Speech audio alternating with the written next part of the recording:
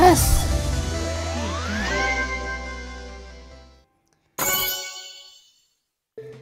This one took 171 attempts, but the one before this time machine took 238.